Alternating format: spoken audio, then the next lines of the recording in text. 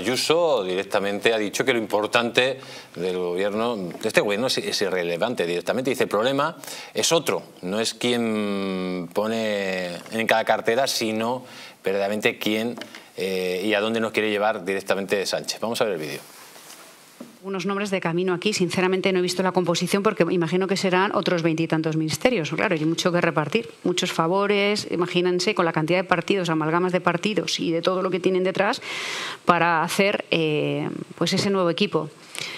Eh, los gobiernos cuando son más amplios y tienen más carteras son más ineficaces porque nace la descoordinación y al final parcelan ministerios que no deberían ir eh, por separado, ¿no? La ciencia, la innovación, investigación con la universidad, pues así todo lo que hemos visto. ¿Qué puede salir mal a partir de ahora eh, con los mismos ministerios? Yo lo que veo es que no han afrontado en ningún momento los problemas reales de España, no han gobernado eh, a favor y veo que por la cartera de nombres vamos a ir un poquito en ese, en ese camino. Eh, solamente el hecho del nombramiento de justicia, etcétera, pues te demuestra que, que están a otra cosa. Yo, hombre, evidentemente les desearía todos los todos los éxitos porque sea el de todos, pero me parece que va a ser un gobierno irrelevante. Ya lleva a Sánchez como 60 ministros y siempre va todo a peor. Luego creo que el problema es otro. No es a quien pone en cada cartera. Tenemos lo que dice la presidenta de la Comunidad de Madrid.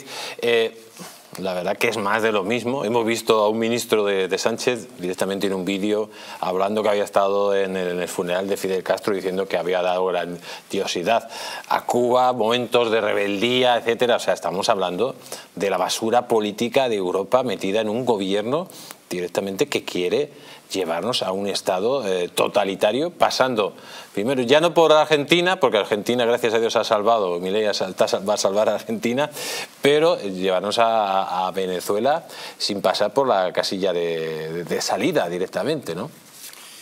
Bueno, yo estoy en este caso, en fin, con, las palabras de, la señora Ayuso por una vez y sin que sirva de precedente, pero es verdad que la composición del gobierno es básicamente irrelevante. decir, al final estamos en manos de una, de una clase política que es una especie de detritos moral e intelectual. De esto no cabe ninguna duda. Por una parte, eh, adquiere una fuerza algo mayor Izquierda Unida, el Partido Comunista y algunas personas procedentes del Partido Comunista, Podemos queda fuera. Es un dato importante, el hecho de que Podemos queda fuera, es un dato políticamente muy importante en cuanto a su relación con Sumar y en cuanto a su relación con el PSOE, porque las declaraciones de hoy de, en su televisión de, eh, Pablo Iglesias son muy significativas. entiende que ha habido dos personas que son quienes se han cargado a Podemos que son Pedro Sánchez y Yolanda Díaz. Es una evidencia que eso es así, no ha descubierto nada nuevo, pero lo que es interesante desde el punto de vista político es que lo señale. No olvidemos que hay cinco diputados de Podemos en el conjunto de Sumar. Pero él afirmó su sentencia de muerte en el momento que hace a Sánchez presidente del gobierno. Pero es que no le queda otro remedio. Quiero decir, él políticamente no puede hacer más. Él lleva una deriva de, de tres, cuatro años absolutamente desastrosa y de ahí, y de ahí no puede salir.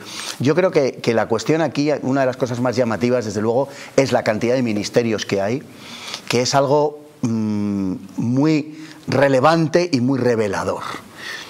¿Por qué? Pues porque esos dos, 22 ministerios, que son básicamente los mismos que había antes, con alguno novedoso, etcétera, esos, esos 22 ministerios lo que revela es una tentativa, una ansia de controlarlo absolutamente todo. O sea, Ministerio de Infancia, Ministerio de Tiempo Libre, qué sé yo. Es decir, absolutamente todo, ¿no? Y ese intento de controlarlo absolutamente todo es lo que me parece también enormemente perverso.